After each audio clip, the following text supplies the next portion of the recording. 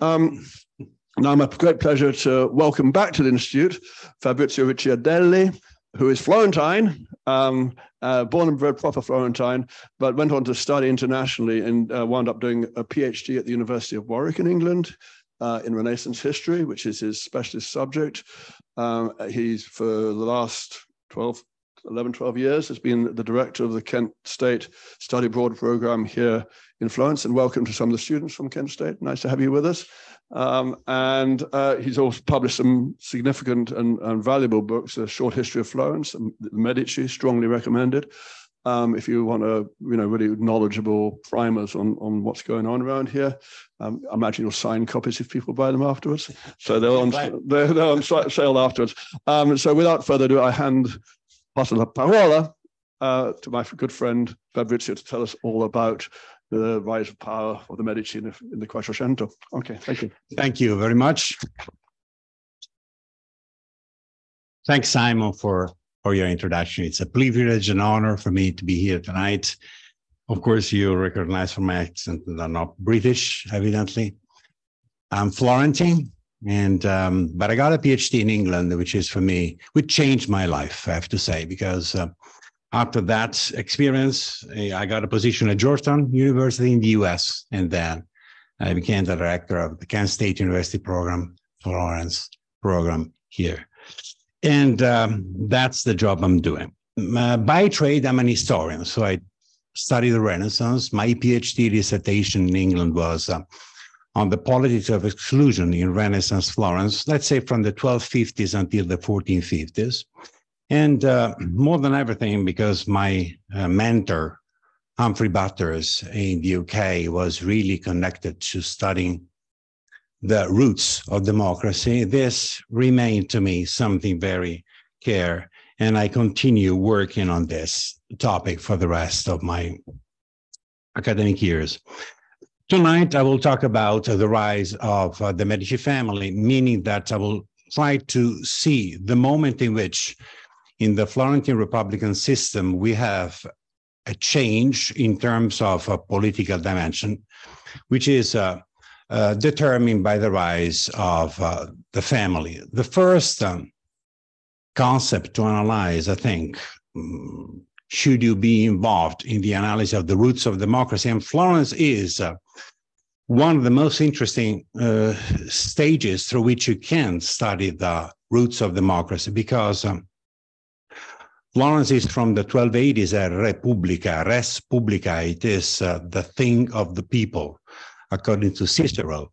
And uh, mm, at least in theory, at the center of the uh, governmental spirit, you have the citizen, mm, which is, of course, uh, one of the main ingredients through which you can talk about democracy, you can talk about what Aristotle theorizes in the second book of Politics.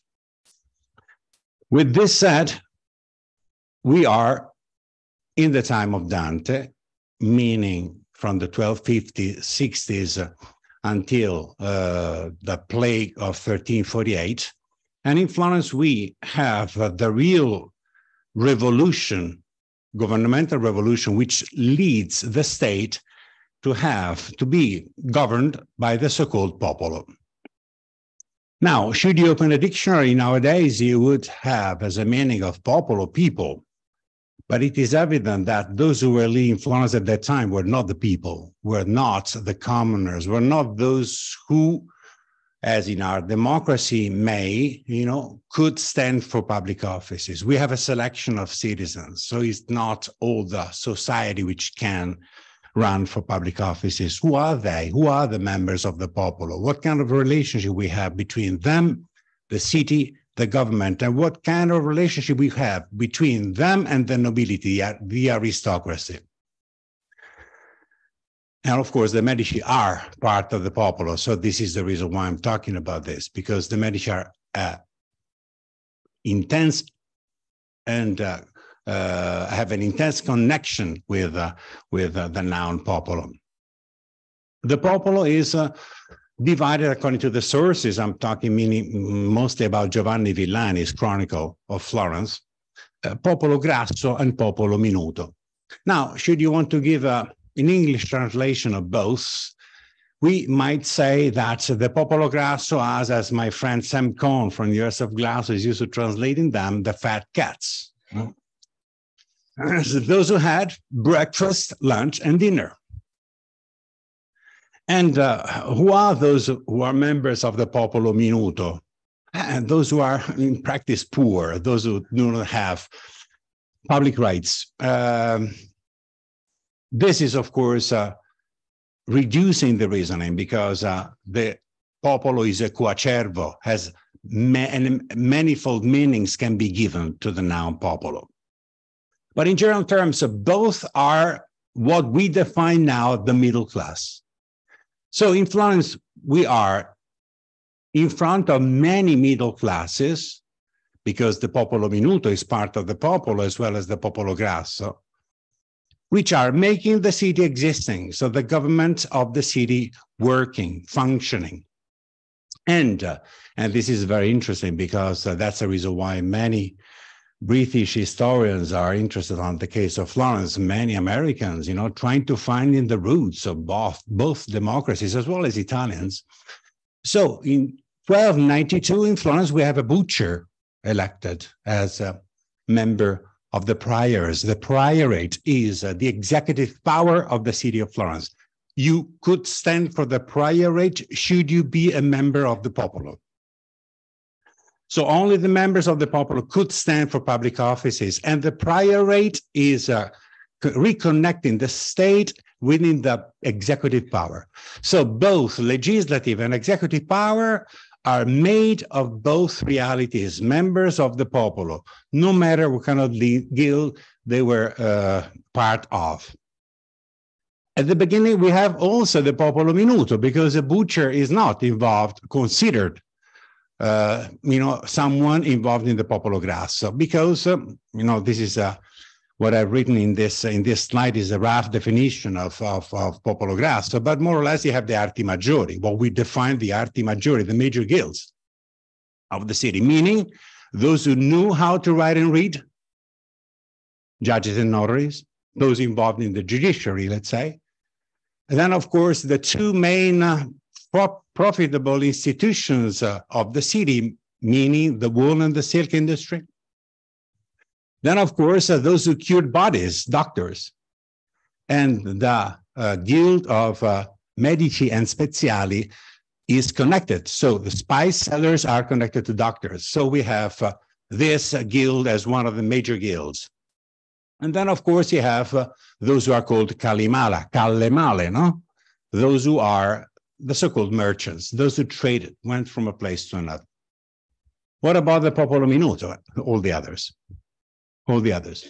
But this doesn't mean, and this is something I will talk about in a few minutes, that they didn't have the same kind of uh, social possibilities as the others. Florence is a very strange case because of this. Florence is very important because of this, because also the Popolo Minuto had a good uh, way of living in the city of Florence in average.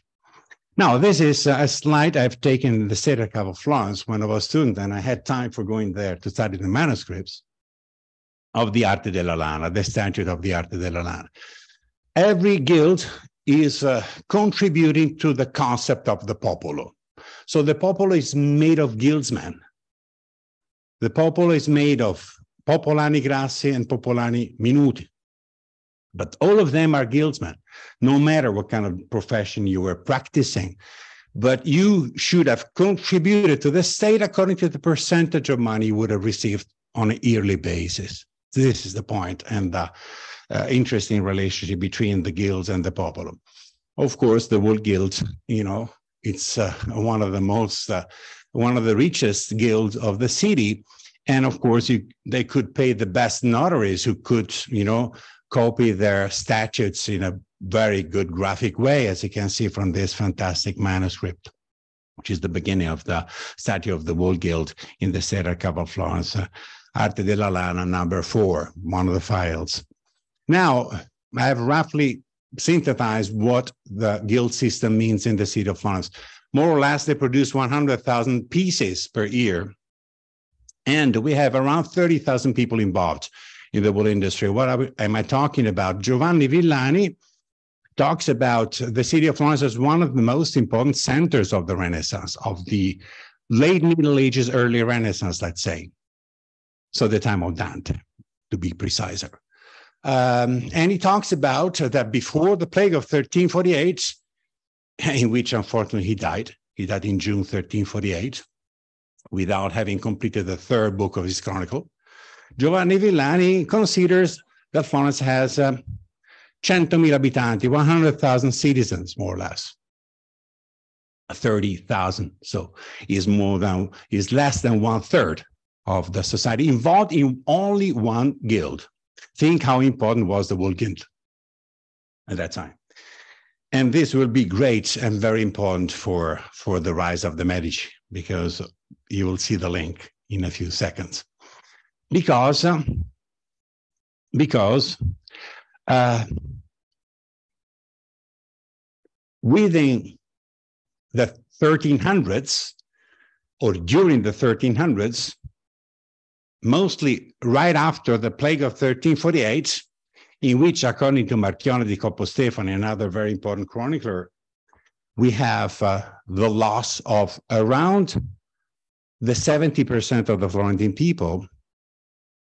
Florence was in the process of rebuilding itself you can teach me how many years you need to create a, a, surgeon in our society more than 30 years you know a professional. So florence was uh, granting citizenships to all the main masters of uh, of the surrounding area you know inviting them to be citizens. But we have and when i was students at the university of warwick i spent a lot of you know a lot of time in the city of florence and while i was collecting all the uh, mm, the acts of exclusion, I was also collecting the arts acts of inclusion. And they are very few before 1348. We have a lot after 1348 because Florence was in the moment of, uh, was in the need of accept, accepting immigrants in the city, especially higher level immigrants, professionals in every possible field now, and here we go with the reasoning I'm trying to lead tonight. So the fact that we have, specifically, mostly from the 1350s onwards, the increasing of the discrepancy between between the popolo. So the, uh, the, the, the, the, distance between the popolo grasso and the popolo minuto increases, grows, grows exponentially, and explodes in 1378. Everybody knows the Ciompi uprising many have uh, written, you know, books and uh, papers on the Ciompi revolution. Should you want to give a, a, a, name and you know a meaning to the noun Ciompi, we have a piazza, I live very close to it in Via dei Macci. Uh, piazza dei Ciompi, Ciompo, uh, the Ciompo doesn't mean anything, you know, but it connotates people. Hmm? So you are a Ciompo should you have lived in the 1370s uh, if you were involved in the wool industry with no political rights. In other words, one of the most important ingredients of the, of the industry, you know, without the possibility of standing for any public office. And of course, uh, you were, as well as the others, enrolled in the guilds, but there was a distance between you and the masters. Let me give an example. When Brunelleschi completed the dome in 1436, uh, the commission was his, uh, was not given to the thousands of people who were working with him at the completing of the, the, the dome of, of Florence, which lasted more or less four years. So it means that he received the commission from the, of course, Medici family first, uh, and I will talk about briefly about that because Cosimo had a big role on that, but also the fabric of the dome. And then with this money, as an entrepreneur, he distributed according to the profession among the different workers who were working with the, for, for completing the dome. So it means that we have a progressive uh, distance between rich popolani and poor popolani. And of course, we have also the creation of medium popolani because, um, because uh, the middle class uh, has manifold meanings in this period of time. At any rate, what happens in 1348? So we are in June. Uh, we have, uh, you know, the explosion of this phenomenon. So the, the poor Popolani, knowing perfectly that they were the most important ingredient for making the wool industry one of the most profitable institutions in the city, which gave work to 30,000 people and so on, you know, didn't suffer anymore the situation. So what happened is that Salvestro de' Medici, and here we go with the Medici family, Salvestro de' Medici, flag in hand, you know, went all over the city trying to kill all the magnates, all the Popolani Grassi, all those who were pushing down the Popolani Minori in the city. And here we open one of the biggest questions, you know, in history ever. And I won't answer that question tonight because historians usually do not answer questions, try to, you know, promote questions and doubts. But surely there is a question which is very important. You know, I wrote down a, a book on the Medici family a few months ago with this question in mind. You know, what kind of interest Salvestro de' Medici, one of the most important bankers of the city, had to defend the rights of the poor people of Florence? Because this is the point. He risked his own life. But this, and I cannot answer this question. The only thing I can tell you is that from that moment onwards, the Medici, especially in the 1400s, were perceived among one of the most, you know, interesting kind of family, very close to the poor people. So when Cosimo the Elder gave the commission to complete Palazzo Medici Riccardi in Via Larga, now Via Cavour, the gates of the building could stay open also at night because uh, no one would have ever attacked Cosimo because he was considered the first among equals, primus inter pares. So, no matter if Salvestro planned this act or not, the very fact is that the Medici family, through Salvestro de' Medici, defending the roots and defending the rights of the poor members of the Popolo Minuto, entered by default within the spotlight of uh, the love of the people. Now, the society we built after the Ciompi uprising, here I'm going very fast, evidently, uh, but in that more or less 50 years between 1378 and 1434 was, uh, you know, going in the direction I was indicating before. So the discrepancy between the rich Popolani and the poor Popolani increased, continued to increase. Uh, and now what do we have? We have uh, Florence, the Republic of Florence, the Res Publica Florentina, in the need of uh, you know, acting as well as the other states of the time. I'm thinking about Venice, who was uh, you know, uh, fighting continuously against the Duchy of Milan, uh, pushing, was trying to push Venice through the sea. Uh, the Kingdom of Naples, uh, the papal state in the middle of the country, the Republic of Florence was in need of expanding itself. The typical situation we find, let's say at the beginning of the 1400s, the need of creating new outposts, no? expanding the borders of your state. Of course, Florence was a city state in its beginning, a republican state in its mature phase. And we are in this moment, in the moment in which San Gimignano was conquered, and we are in 1356. Pisa was conquered, and we are in 1404.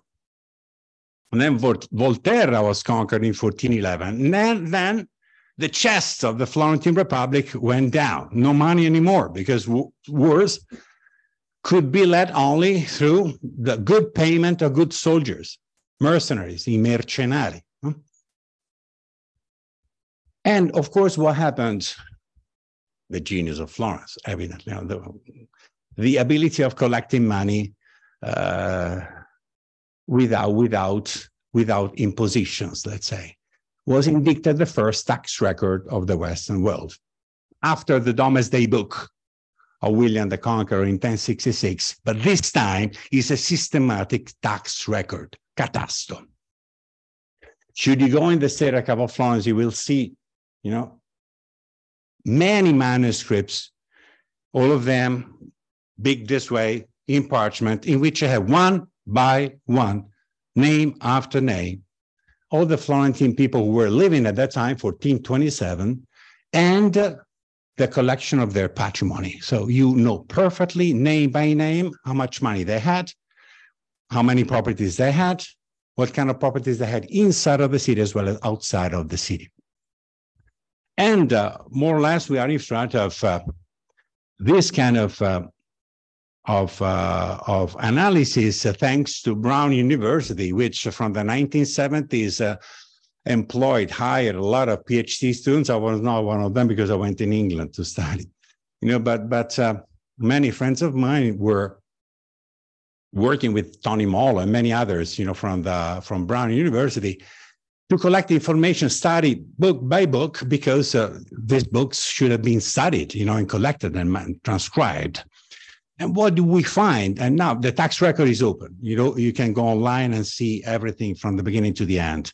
You know, the patrimony of Palla Strozzi, Giovanni di Bicci de' Medici, Cosimo the Elder. So all the Florentines who were living in the 1420s Florence what comes out from this tax record? The cynical historian gets informations which are used to trying to give an explanation to historical data, events, the ritual process of history. The richest person of the city is not Giovanni di Bicci de' Medici, is not Cosimo the Elder, is a member of the Strozzi family. So the Medici are not the richest family of the city, are the Strozzi, the first uh, and most important uh, family in town. And you can read in this slide that Palla Strozzi owned around 100,000 gold florins in his bank account, cash money. More than 30 farms in the countryside and a lot of uh, blocks in the city, meaning revenue from the production of oil and wine in the countryside rents because he rented apartments. No? The housing system of my students at Kent State University has not been created by ourselves.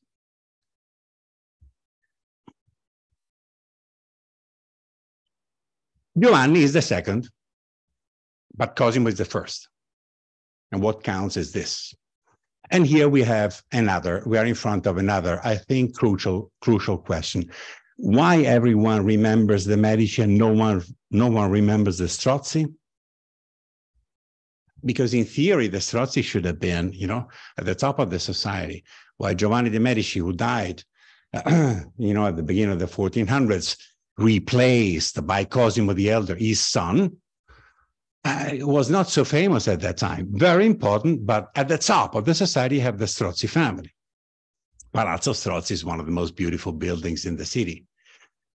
I don't remember how much it costed, you know, around 20,000 gold florins, you know, a fortune for that time, because I used that parameter for trying to see uh, the ban given to Dante Alighieri uh, in 1302, which was uh, comparable to the buying of a building like Palazzo Strozzi. Yeah, a huge fortune for the time. But these people owned uh, 100,000, you know, Cosimo, uh, Giovanni Bicci Medici, 80,000 gold florins uh, in his bank account, and revenues from their properties, both inside of the city as well outside of the city. So the question I'm in front of, these are the data I was talking about a few seconds ago. And of course, you have also that uh, the enormous quantity of people who didn't own, have any property in the city. We're talking about 1,600 people, 1,500 people, but who could send their children to study abroad. For example, in Bologna, you know, now they study from Kent State to Florence, or I studied from Florence to to to to Coventry, to Warwick. You know, but at that time, studying outside of Florence, going to Bologna to study in one of the most prestigious universities of the West, the first one in the West, actually, was a privilege. Think about Brunetto Latini. Brunetto Latini, master of Dante Alighieri, studied in Paris. A Tresor, has not been written in Latin or in Italian, has been written in French. So bilingualism, speaking, you know, foreign languages is not something which has been invented by our society. So with this said, also part of the Popolo Minuto, and here we go with the other concept I try to, to, to, to, to talk about tonight with you, could afford a good quality of life, could pay a rent, could have the children grown, and could send them also to study abroad.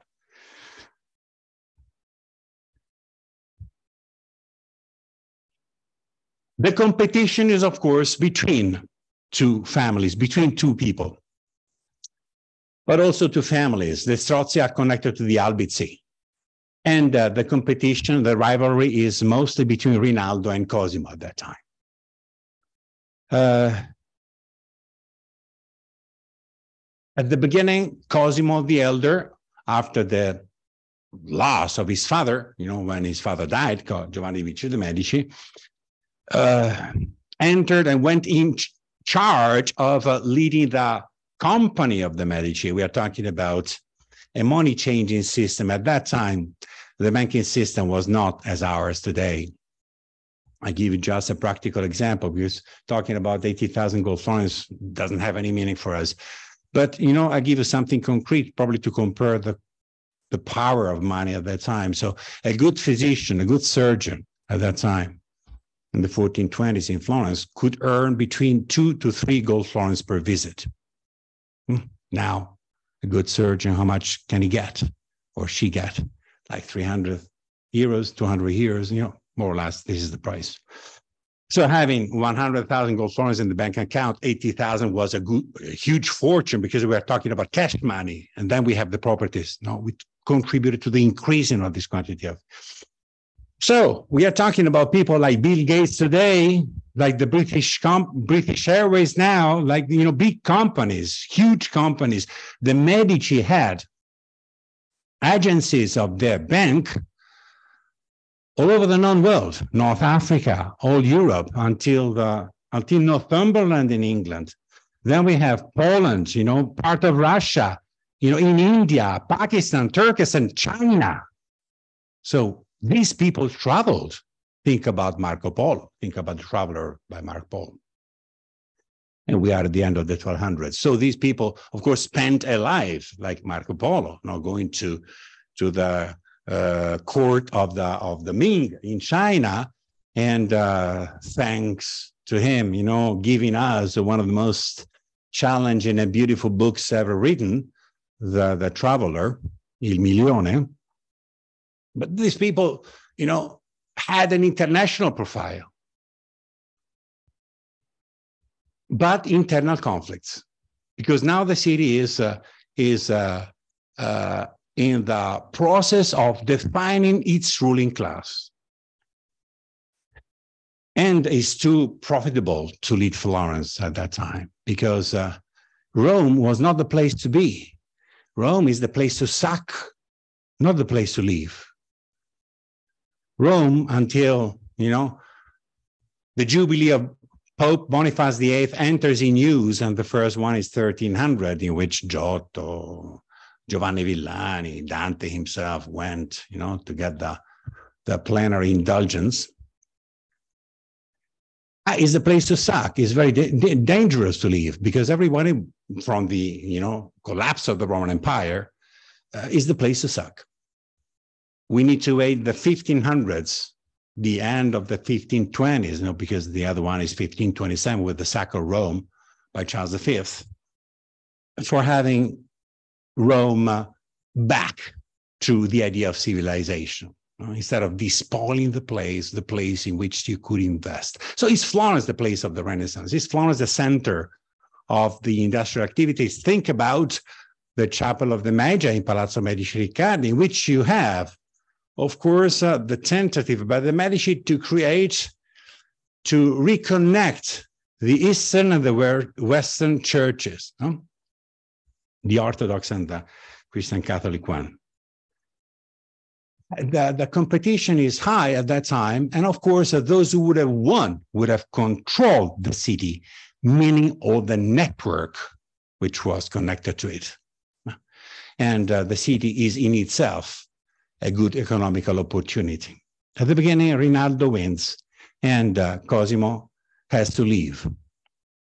Cosimo, this is a fresco by Vasari, Giorgio Vasari. We are in the in Palazzo Vecchio, uh, very close to the Salone di Cinquecento. And uh, we have Cosimo the Elder, always red dressed, hmm? the color of purity. Uh, obliged to leave. Huh? Cosimo is uh, in the act of leaving the city. On the back, you can see Florence, there is a dome there. And of course, we know about uh, Cosimo's exile. He went to Padua, you know, he spent uh, very few years, I would say, because because uh, then uh, the city of Florence asked him to go back, you know, because the wise connections of Cosimo were too important for the city of Florence, uh, and Rinaldo was nothing more than a good soldier, but not a good interpreter. Now, when Cosimo goes back to Florence, of course, the repercussion is very harsh. And here we go with the rise of the Medici. The Medici are making the difference exactly in this period of time, in 1434, when Cosimo is asked to be back, to go back to the city of Florence. And uh, in the judicial system of the Renaissance, you have two plus three methods for excluding people from society because we are not in a tyranny. We are not in a despotic regime. We are in a republic, the Republic of Florence, the res publica. And uh, the methods for excluding people were two on the one hand, and of course, the, the, the clear one, not the death penalty, goes without saying, the elimination the cancellation of the political memory of the enemy. This is very easy. Something which was not so practiced in the city of Florence. The majority of cases we find in the archive, in the state archive of Florence, are mostly connected to the two main subtle way for excluding people bans and confinements. Now, confinement is, is very easy to, to, to analyze because it, let me think about Mussolini, you know, how confinement was used during fascism. Confinement implies is, uh, the strength of the government. So if you have a strong government, like the fascist government was in its, uh, you know, in the middle of its 20 years of, uh, unfortunately for Italy, control of the country, you, you could send some someone outside of the borders obliging him or her to stay there, controlled and so on and so forth. This is confinement. We find many in the history of Florence in the 12, 13, and 1400s. It is more difficult to find bans. What is the ban? And we go back to the uh, no the the the, the Codex of of uh, of, uh, of Justinian, uh, in which the ban is a monetary fine usually is a fine which could not be paid by the person who was involved. That's the reason why I was checking how much Palazzo Strozzi costed, because I know how much money Dante Alighieri had to pay for pledging for his, uh, uh, for having betrayed, you know, the state. 5,000 gold florins. At that time, unpayable. Usually the bond is a quantity of money which could not be paid by the person. So you receive a monetary fine. If you are not able to pay it, the judicial system, you know, should you have been imprisoned, you know, allows itself to torture you until confession. And of course, uh, the best way for avoiding it was, uh, you know, remaining outside. So the ban is a sort of, uh, how can I say, subtle way for not exposing the government to any possible kind of decision, but leading, leaving everything in your shoes. You know, you are responsible for your, your action. You are not respecting the rules. You are out of the system. When Cosimo, and here I go with Cosimo the Elder, when Cosimo goes back to Florence, Of course, Cosimo controls everything, but more than everything, Cosimo controls the Otto di Guardia, the eight on security. Who are they? This is an office among the many you have in the Republican system of Florence, which was very, very well organized in terms of distribution of powers the fiscal system, judicial system, legislative power, executive power. and of course, the notaries, we have a name, someone named Machiavelli, you know, working on these things in the fifth, at the end of the 1400s, the beginning of the following century. The Otto di Guardia are whom? the secret police of the state of Florence. Otto di Guardia, the eight on security. Uh, the eight on security were established in 1378 after the Ciompi uprising to re-establish the governmental system of the Popolo Grasso. And of course, the first thing that Cosimo does was putting eight people close to him in that office. And this is uh, what I will do. I hope to do it before I die, you know? But there is a, a manuscript in the Sera of Florence. I didn't quote the, the number of this uh, of this manuscript because I forgot it, but it's 224. It's Otto di Guardia and Balia, uh, Repubblica 224. This is uh, folio number 21, 21st, uh, recto, recto and verso, in which we have, uh, and here I'm getting blind, let me read it in Italian because it's fantastic. Qui cominciano i confinati, relegati, interdetti, privati degli uffici et sospesi posti a sedere et ammoniti, et condannati per la conservazione del presente pacifico et tranquillo stato della città di Firenze, et qualunque d'essi è diventato rubello, rebel, incominciando dall'anno dell'incarnazione del nostro Signore Gesù Cristo, 1438, 48, 38, e da indi in qua.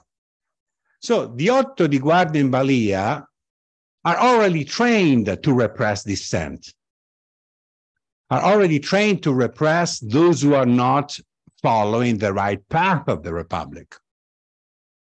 And of course, having them, the police, uh, being them, the police forces, the secret police of the city, mostly created to discover any possible kind of potential plot and conspiracy against the state for not repeating what happened in 1378 with the Ciompi uprising. Uh, of course, this was a perfect, the perfect office for Cosimo to reinforce his personal, the power of his family. So through the Otto di Guardia, and here I go with the book I was mentioning, with the manuscript I was mentioning, mentioning before, Cosimo put one after the other in this book, all the enemies of the Medici family. For the first time, for the first time, fusing the interests of a private family to the interest of a republican system. So you, you need, of, of course, talent to do that, you know, because because uh, Cosimo perfectly knew uh, the tradition. He knew perfectly the history of Rome and the change and the passage, which was, uh, of course, uh, um, described by Cicero no? at the end of the Republican period before Augustus in Rome, uh, of the change between a Republican system into a dictatorship.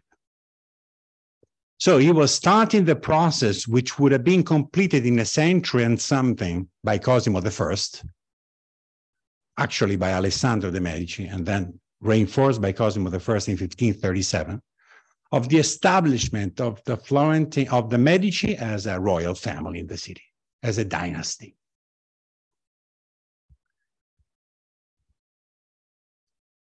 And here we have some names of those who were put in this uh, Otto di Guardia in Balia, Otto di Guardia in Balia uh, manuscripts.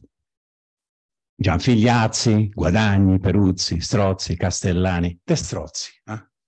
Of course, the main enemy of Cosimo is the you know the family which is in economical competition no with, with, with them and uh, through this uh, uh, act of love by the Republic of Florence, by the Florentine people who asked him to go back to the city for reinforcing the political and economical profile of the city itself, for bringing back all the, the, the, the, network of supporters which were going out with him in exile when Rinaldo won in 1433.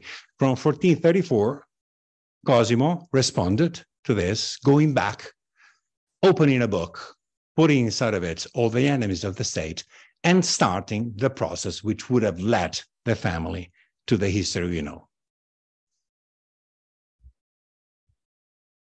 Now, Cosimo is in charge of taking care of the family first and the Republic of Florence second from 1434 until 1464. In these 20 years, we have the real establishment of a, of a, of a dynasty in the city.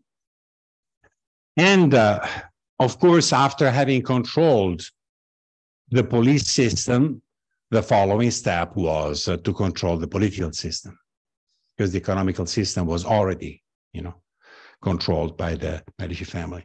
To control the political system of the city, the challenge was won from the beginning, evidently, because uh, Cosimo knew perfectly how the Republic of Florence worked.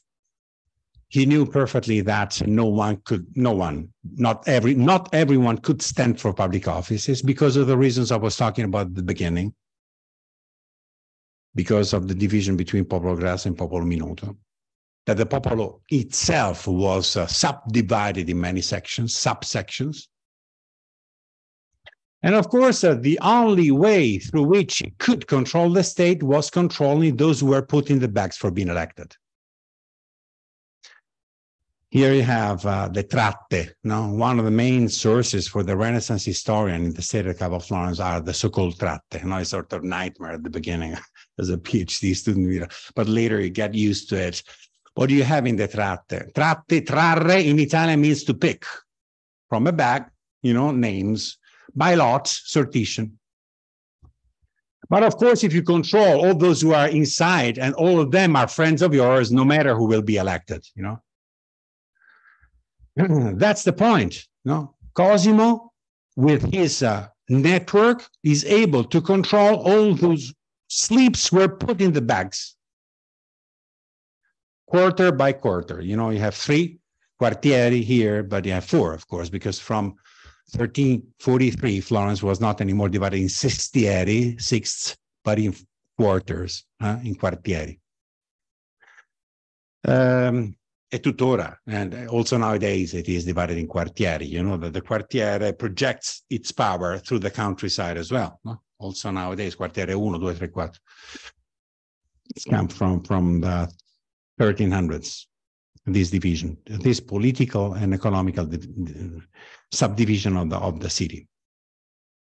Um, so this is the, the point. Nicolai Rubinstein, one of my mentors as well, you know, at the University of London, who followed my my discussion of thesis, you know, when I completed it in Warwick, wrote probably one of the most enlightening books on this topic, uh, on the way through which the Medici could control a state, not only in the 1430s, but also in the 1460s, 70s, uh, 80s, and part of the 90s. Hmm. And uh, of course, inside of the Tratte, you have uh, the real picture framework, you know, within which you can analyze the history of Florence because you know who they are. You find them also set in the councils. And if they are set in the councils, it means that they voted for certain proposals. And the councils were legislative power as well as executive power. So you could find all the different kind of uh, visions of the different families of the city one by one again this time politically speaking and uh, all of them are involved uh, put inside of these uh, leather bags and picked at the need whenever the election is done. The elections were done many many times in florence because one of the criteria for selecting the ruling class was uh, not having them elected for more than two months, which is very tiring. I'm thinking about, you know, that every five years you have we have the elections for the government in Italy, but also for the, you know, mm, the other offices, four or five years. At that time, two months. This means that you needed the control of many people in the bags. No? because uh, many were the criteria for selecting the offices. The, the, the, system talks really aloud about the rules. No?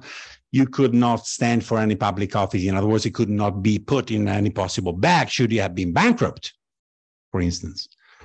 Or should, should have not be contributed to the state itself. One of the keys to understand the Florentine Renaissance, otherwise, we're talking about art and stop, you know, who's Michelangelo, Donatello, what kind of uh, contracts they received, who were those who paid these contracts, where is money coming from.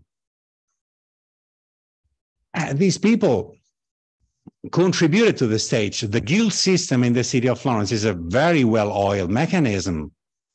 The taxation in Italy, sometimes I wonder myself why I don't pay anything if I go to a hospital in Florence or in Rome and so on uh, because I prepaid it through the taxes. Why my daughter, who is 18 years old, is not paying for studying at Liceo Classico Galileo in Florence? Because I prepaid it, not through my taxes. And taxes are made also nowadays in Italy in proportion to the quantity of the gross money you receive per year.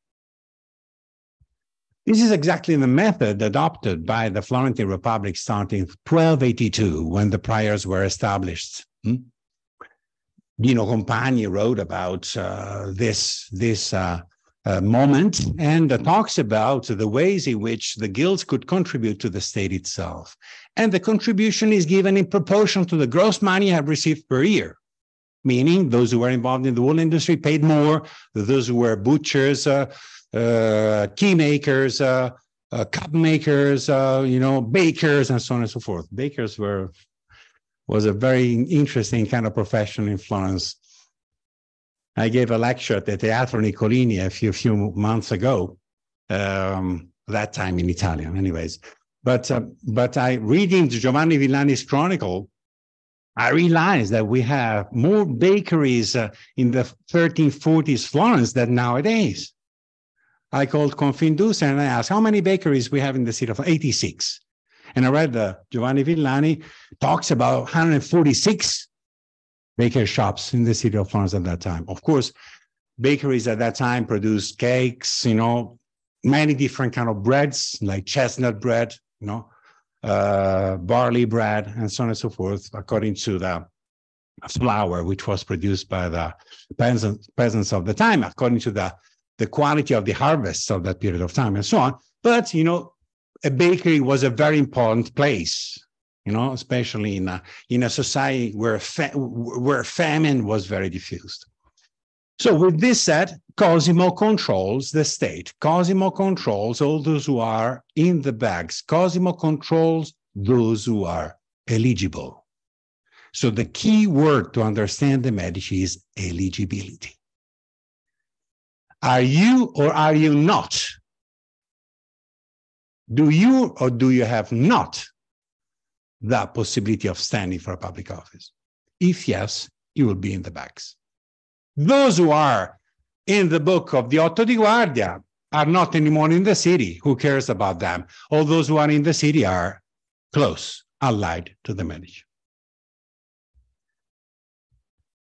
And uh, of course, starting 1434, and here I go to the last topic I will touch tonight to complete the framework of the ability of, of Cosimo to establish the Medici in the city of Florence, because the rest is history, is patronage. Mecenatismo. It sounds different in Italian. It comes from mecenate, no? a very close friend of Augustus.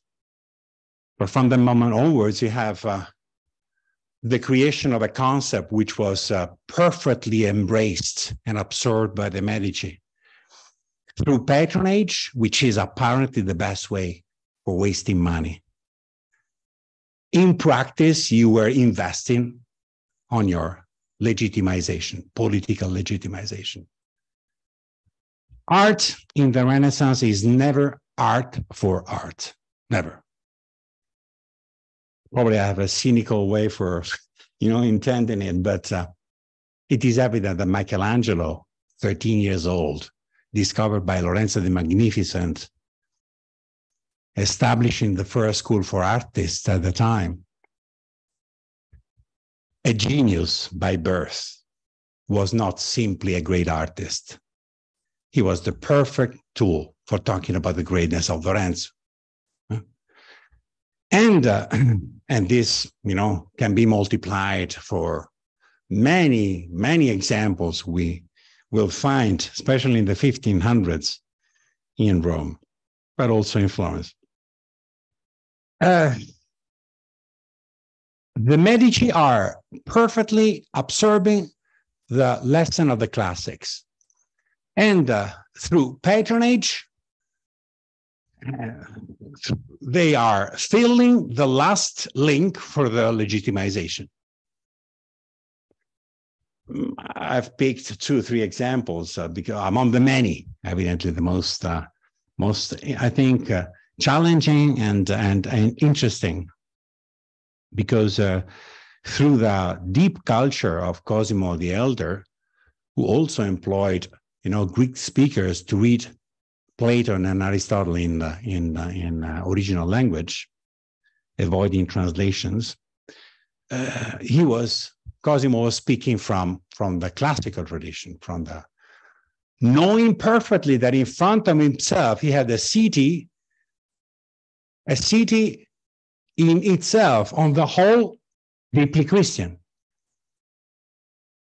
So I think that nowadays, uh, should it be a politician, you, you need to really pay attention, you know, to what you're saying because the audience is uh, really diversified in itself. At that time, everything was easier because it was a very monolithic kind of society, simply deeply Christian. So you could not be you know, following uh, the Jewish tradition or the Muslim tradition. You could, because Florence never persecuted both creeds. And again, this is another thing should, which should be probably analyzed uh, deeply. A very tolerant city, the creation of the mythological imprinting of Florence, and so on and so forth. But it is evident that everybody knew who David was. Everybody knew who Judith was. Everybody knew what the dome meant. Hmm? And David, everybody knows that he's the hero, the loser who wins on the strong one. David winning on Goliath. But in this case, you know, I'm thinking about Bernini. I don't know if you've been in Rome at the uh, Galleria Borghese, you know, one of the most beautiful Davids, in which David is throwing the stone, you know, winning on, on Goliath. In this case, David is not a hero. David is a, a young guy in his youth, uh, sword in hand, um, more feminine than masculine, embodying perfectly the nature and the identity of what Cosimo was trying to sell to everyone at that time. David as a, not necessarily the prophet, but David, the person open to include people, not in the act of war, not in the act of winning. And of course, this David was commissioned first for the courtyard of his palazzo. And everybody was going there because it is evident that the, the other act, which was done by Cosimo, was changing the architectural parameters of power moving from Palazzo Vecchio to his own private house, Palazzo Medici Riccardi. And of course, uh, giving the money to uh, Filippo Brunelleschi, you know, the, the, completing of the dome I was talking about before, 1436. Can you have in a deeply Christian society, a, a, you know, a cathedral without having a dome uncompleted I mean, should you contribute to the, the, the completing of this work of art, you would have been perfectly accepted by everyone as the saver, no? someone who has contributed, contributing massively to the good of the city. The cathedral is the place of the bishopric. Uh, it's the place of the bishop. And who is the bishop? The bishop is the representative of the Pope outside of Rome. Jacopo da Varagine, 1293, the Chronicle of Genoa, talks clearly about the power of the bishop in the Renaissance. Nam loquendo proprie civitas non dicitur, qui non episcopali power decoratur. So a city is not definable that way if it doesn't have a bishop inside.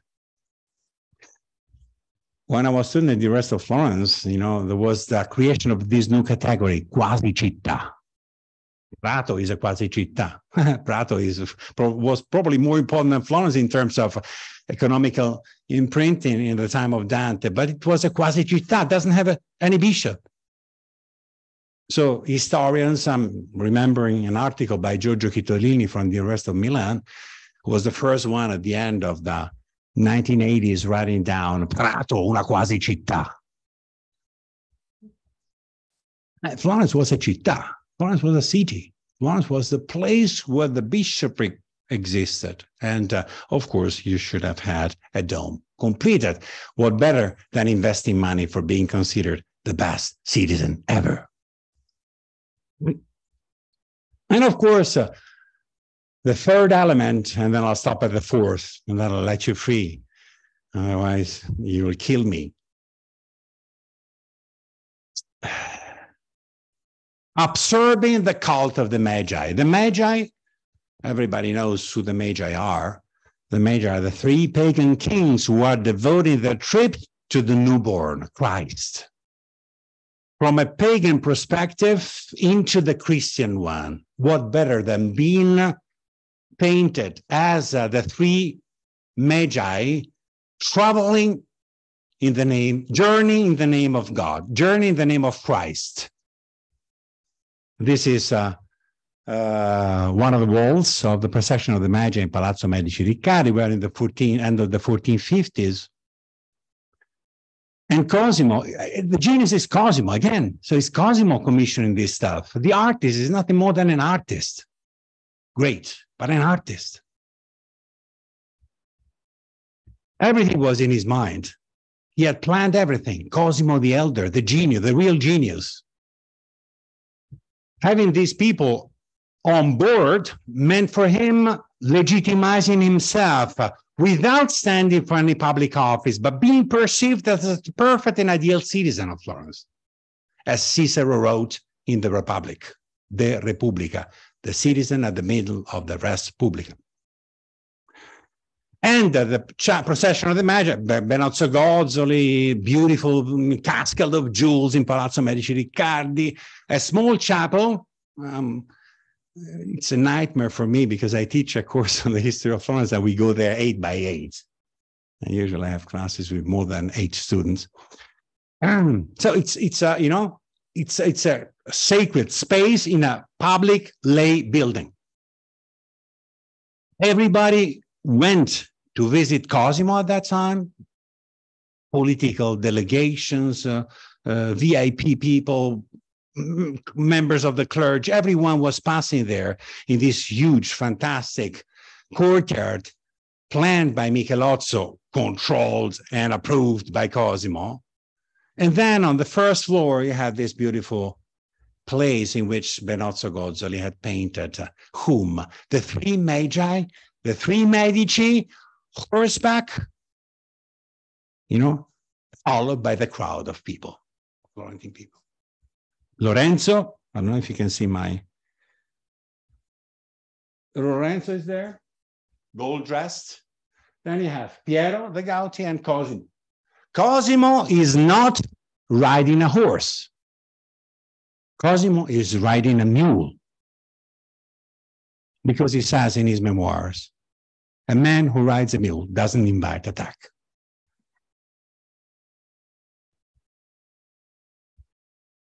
The last one is Judith. Judith, uh, the copy of which is in Piazza della Signoria. The original is in Palazzo Vecchio, in the room of uh, the Lilies, which is the place where the priors met to decide for the community. To which you have the office of Machiavelli, no? of the notaries and chancellors of the state. Judith, the Jewish divinity ready to kill Holofernes. Of course, uh, Judith embodying the city of Florence, again commissioned by Cosimo. Who is she?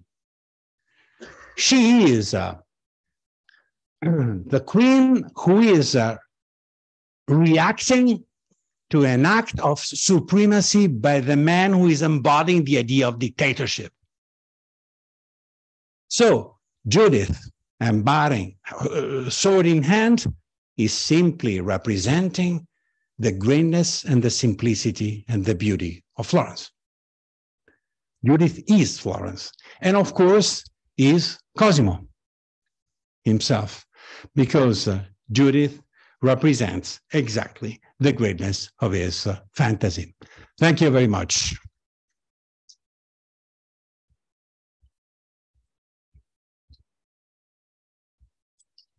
Well, th thank, thank you so much, Fabrizio, for that really fascinating and detailed account of how they did it. Uh, it's because it was a clever, clever game to become the de facto dictator of Florence without ever giving up the facade of being an ordinary citizen, which is what he achieved. I think I explained well. Yeah, uh, it, it, uh, it's an extraordinary uh, game he played and saw off the mm. um, powerful but essentially not very intelligent Albizzi in the process. so that's all I heard. Anyhow, enough for me. And now we, as always, do our questions and answers. So in the room, if you want to ask a question, put up your hand. I'll bring you the microphone. On the Zoom, if you want to ask a question, probably best to put it in the chats. Um, but if you you can also unmute yourself and talk to us um, if you're feeling bold. But we got a question right in the room, right away from Jan. So Jan. So you suggested that uh, Cosimo, when he came back in the in uh, after the uh, riots, um, that he he basically was asked back, and he became this great guy. Exactly how did he do it? How did he create his patronage? Did he buy people? Did he give people jobs? Did he save people from prison? What exactly did he do? you raise and rewind. you know, step by step, he conquered the state.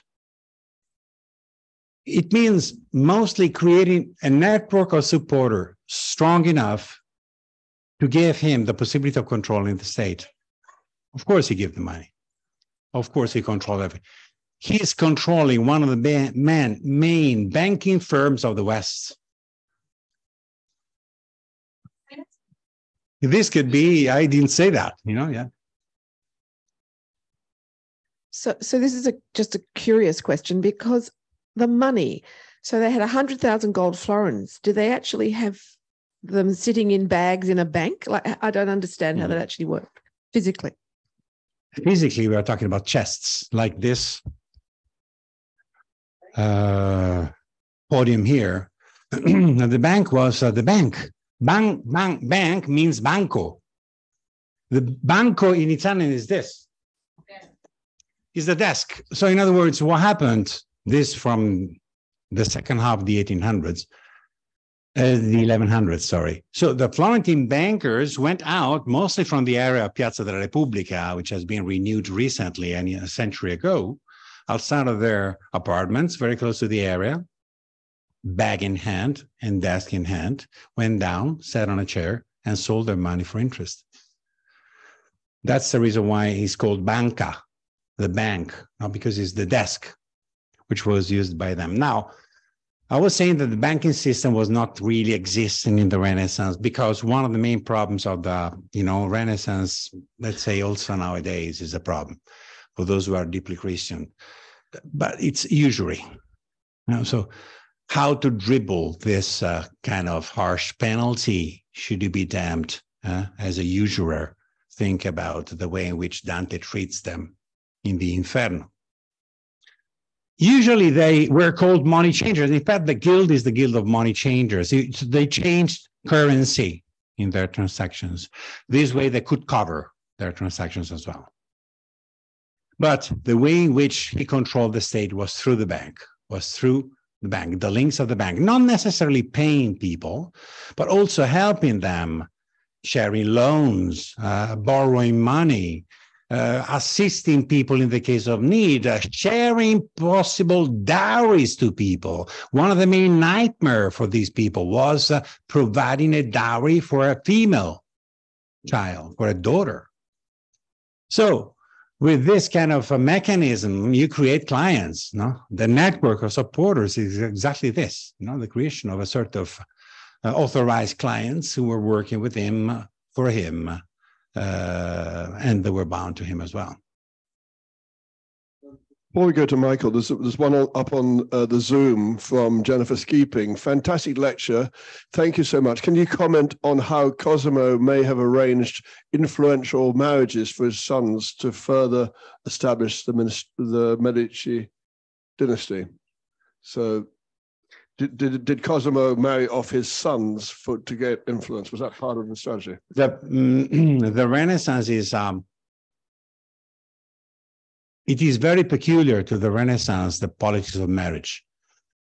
Um, they were never an act of love, always an act of power, always. Uh, sometimes we have we are in front of happy marriages, sometimes not. Let me quote two of them.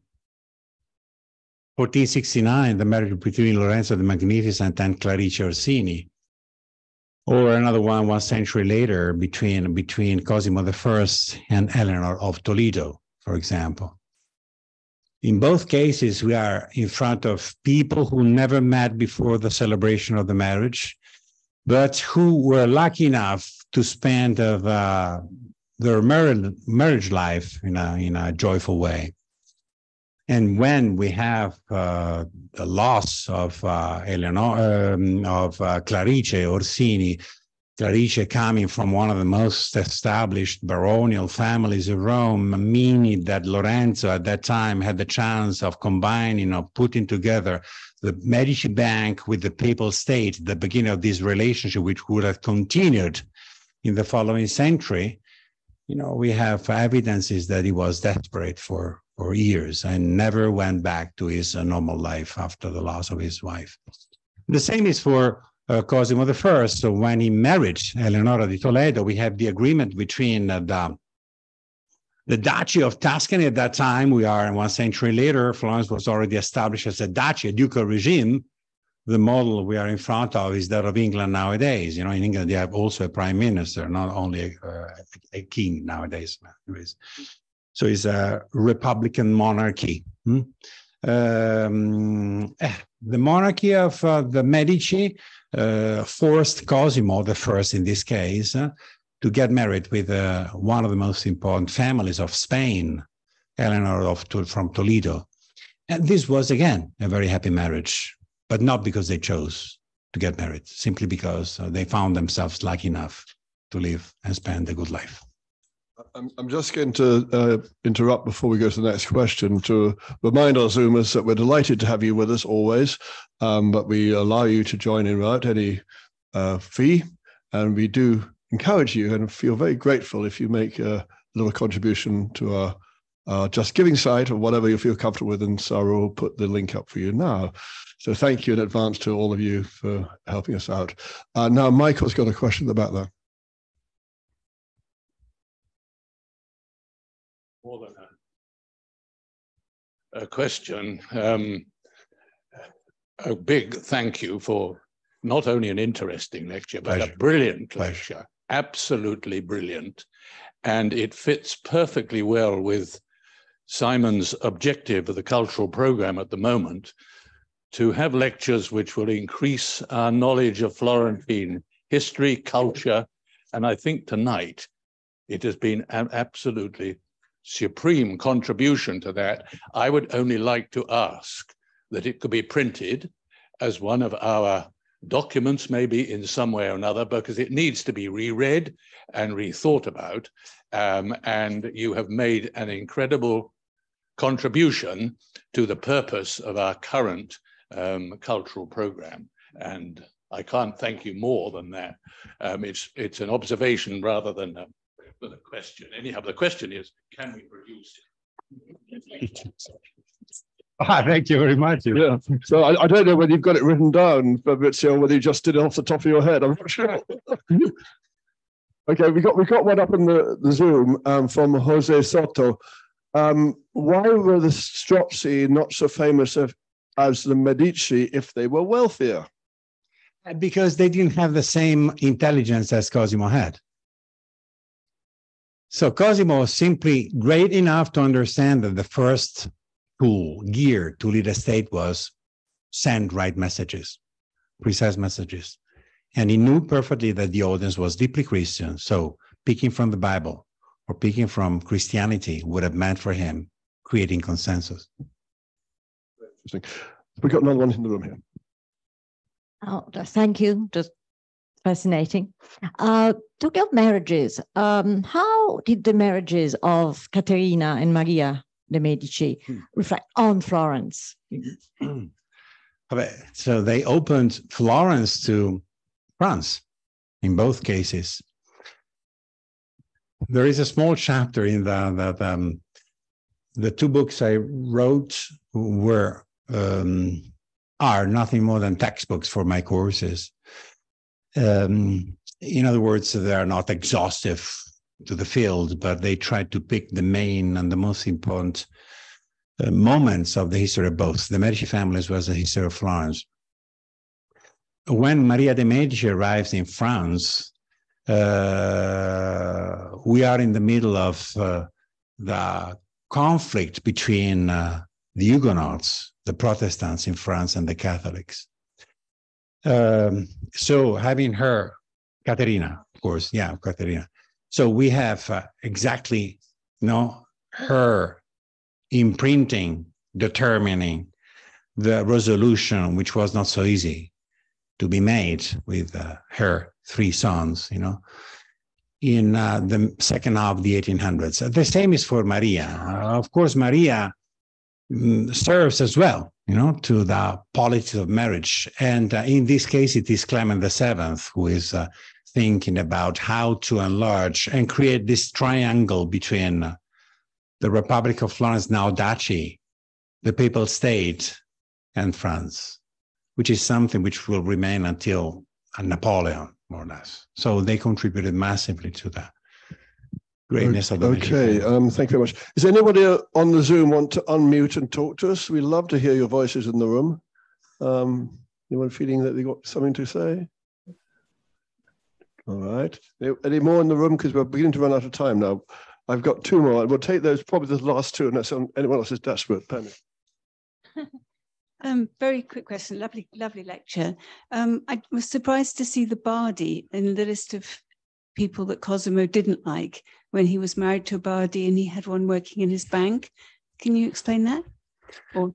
the Bardi family, uh, you know, what's a very, very important kind of uh, uh, banking firm, uh, let's say through the 1300s. So after the failure of the Bardi and the Peruzzi in the 30, 1340s, uh, we have a progressive decreasing of the Bardi family within the city. So the golden age of the Bardi family, it's exactly in the moment in which Giotto was painting the chapel devoted to both families, the Peruzzi and the Bardi in Santa Croce, the, the, the, the, the church uh, of the Franciscans in the city of Florence.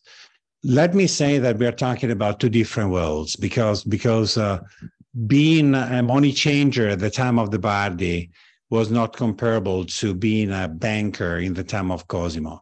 So the international profile, which should have been necessary for a person like Cosimo, was not necessary for those who were living in the time of Dante. Once I had a chance of following the, um, of writing down an article on Giotto di Bondone, which has been published by recently in 2017, um, and and uh, following the commissions he received, uh, you can see perfectly that he's following the path of the bankers, mostly the Bardi. You know, the, and where does he work? He works in Florence for the Franciscans, also for the Dominicans in Santa Croce, but mostly in Rome, and then he goes to Padua. And uh, so wherever you go, you find podestas, people who are professionals, uh, politicians uh, who are sent to lead the judicial system of these places. Uh, and some of them are members of the Bardi family. So this connection is very clear, no? I, I just like to echo the comments about the lecture. I enjoyed it tremendously. Um, just a, a, quick one about a remark you made about the color red that Cosimo, uh, you mentioned it was the color of purity. I thought that white was the color of purity. I mean, or black, huh? the color of colors, you know, from the 1500s, the color of purity, you know, uh, becomes black, the synthesis of every colors. Oh, there is a fantastic book written by Amedeo Quondam, Tutti i colori del nero, no? because nero is the synthesis of all colors. Cardinals are red dressed. And of course, uh, the connection between the connection, the quotation that Cosimo is doing uh, is that one. All the symbols he adopts are connected to the world of Christianity. And again, the question is straight was he a really deep Christian believer? Was he not? Was he really convinced of what he was doing, or was everything a strategy to obtain legitimization, meaning political power? The others are not necessarily, you know, dressed in red, but he's always and only dressed in red. One very last one from Robert Malco, who you can see. Hi, Robert. You can wave to us. You can see you in the room. Yeah, there he is. Um, and what he wrote in the comment was, "What specifically was the source of conflict between Cosimo and the Strozzi? Why were they fighting?" So in this in this case, it is uh, like Apple and Windows. You know, it's a. So we are talking about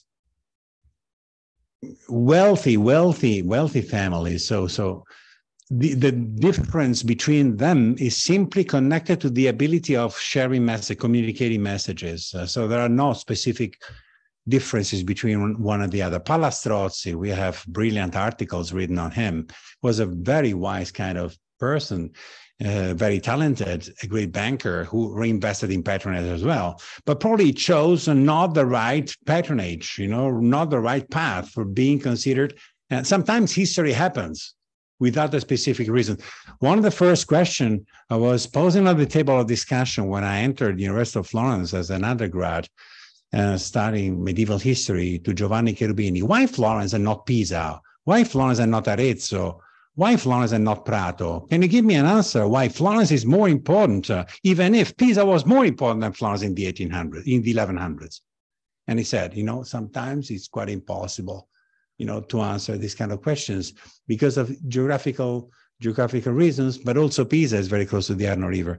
You know, sometimes you know things are happening with no specific reasons, and that's probably the only possible way to approach this kind of question, because uh, the Albizzi, the Strozzi, the, fa- the, the the Medici, the Martelli, the Capponi were all the same level at that time maybe Palla Strozzi was the Elon Musk of his time. Uh, okay, on, on, that rather flippant note, I think it's time to wrap it all up. Raya uh, Jetmal on the uh, Zoom says, Thank you, fascinating talk. And I think we'd all agree to that. Thank you very much. Thanks, everyone. Um, and now I, I hope those, the Zoomers have been doing the wise thing and drinking a, a, glass of wine whilst they've been listening to the talk, because those of them have to had to wait till now. But now they, they do get their wine. Um, because as always, I invite you to go through to the uh, Sala Acton for um, a glass of Rognole wine, Rognole from the Rufina are our, our, wine partners this month. So go through and enjoy some of that. And if you want to buy a book, uh, I'm there. sure that uh, Fabrizio will sign it for you. And and uh, you know th- th- that's going to have more of this detail that you enjoyed so much. And how much are they? Do you know? I don't know. Oh, but they're, they're not very expensive. Don't be cheap. but he will sign them. So uh, uh, the books are for sale. The wine's still there. And thank you very much. And we'll see you all next week.